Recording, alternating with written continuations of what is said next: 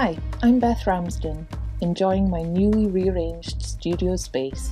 Today I'll be painting an aurora, the Northern Lights. I've prepared my paper with both masking tape and Japanese washi tape. The paper is smooth Bristol board. Here's one I painted before Christmas. You can see it on my Instagram. And here's another example. I'll be showing you how I painted it. I'm adding a new element to the painting though. Glow in the dark paint. Details are in the description. I've taped down my paper and searched online for reference photos of Aurora Borealis.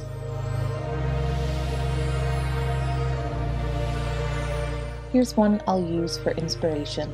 I used Schmincke watercolours and a soft round-tipped brush. I lightly paint in the shape I want the aurora itself to be, in a greenish yellow colour. Use a small heat gun or hairdryer to dry your paint quickly. I prepare washes of cerulean blue, cobalt green turquoise and quinacridone purple I use a spray bottle of clean water to lightly mist the paper, but not enough to create puddles or big drips.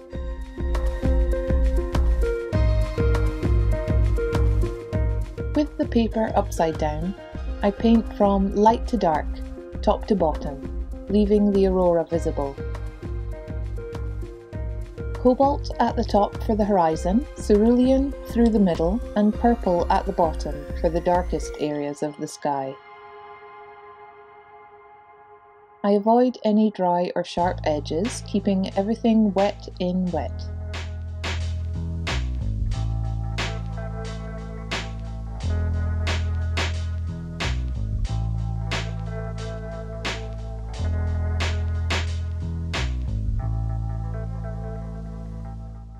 Once it looks right to me, I quickly dry it before it moves around any further, effectively saving this layer.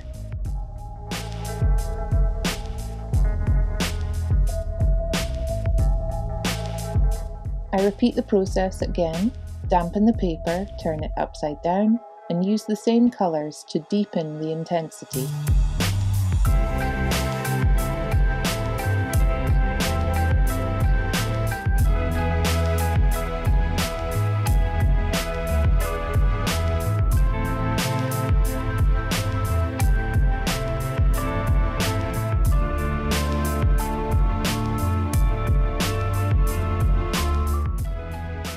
Darken my cerulean blue with some black and add a wet in wet layer just around the top.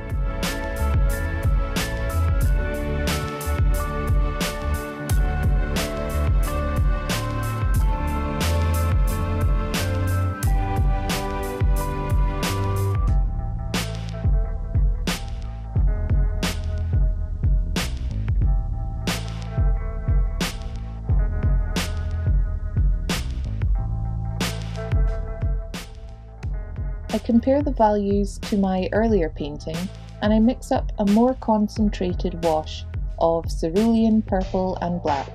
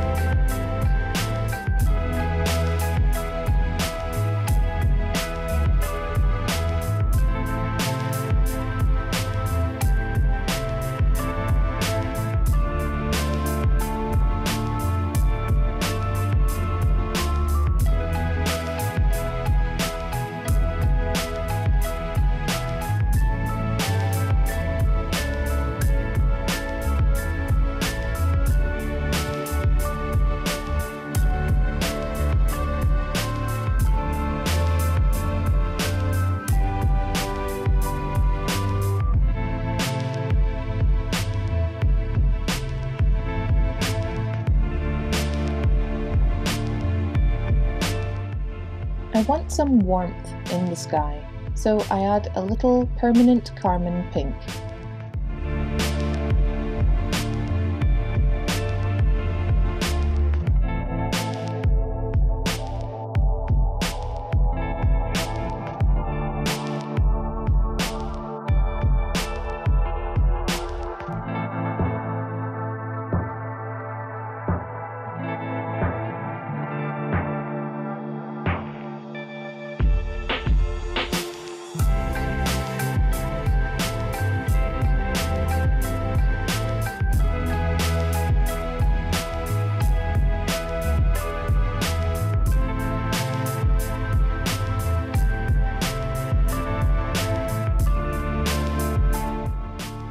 Now I add the glow-in-the-dark paint.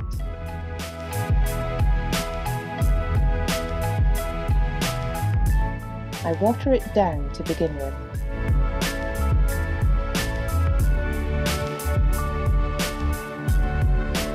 I am worried it might lift the watercolours up, but I'm gentle with the brush and it doesn't affect it. I only apply the paint where I want the aurora to glow. The manufacturers recommend applying it thickly for a better effect, so I did add some more once it was dry.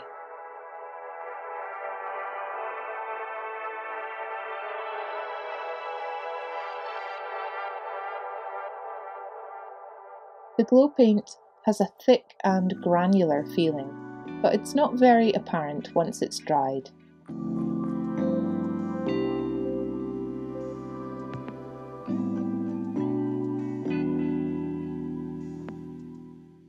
I switch my reference photo to one with trees. With gouache paint, I use a toothbrush to flick tiny white stars into the sky.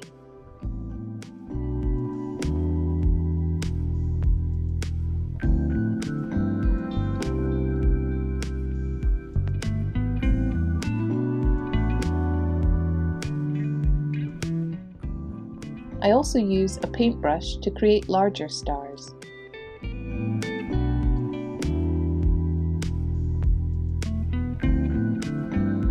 I mix black and purple to paint in a low landscape. Then a ruler to help lay in a few tree trunks, using perspective to give the impression of looking up into the sky.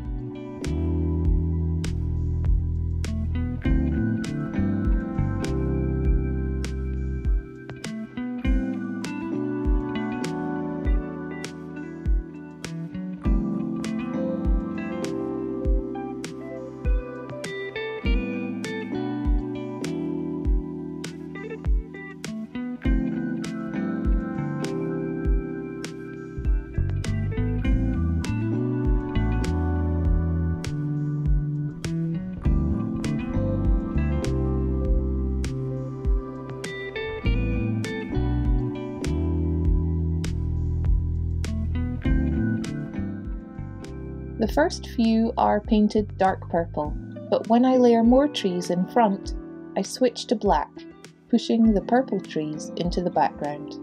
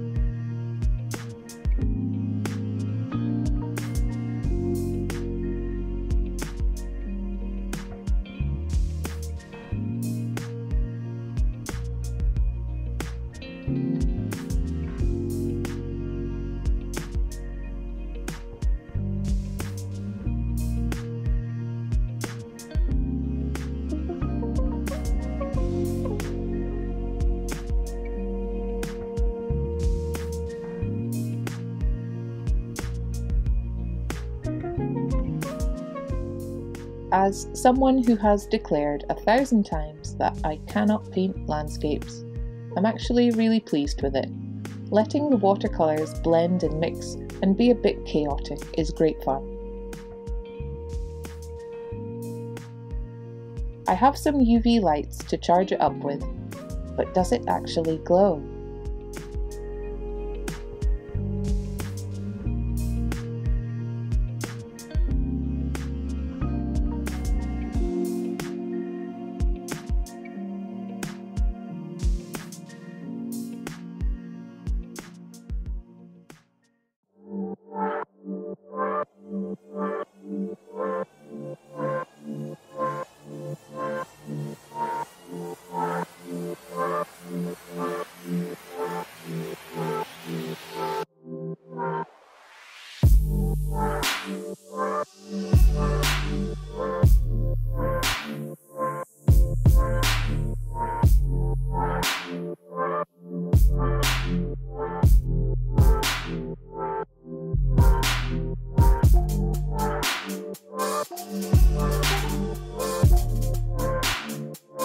I hope you enjoyed this video. Please leave a like and a comment for me and consider subscribing if you haven't yet.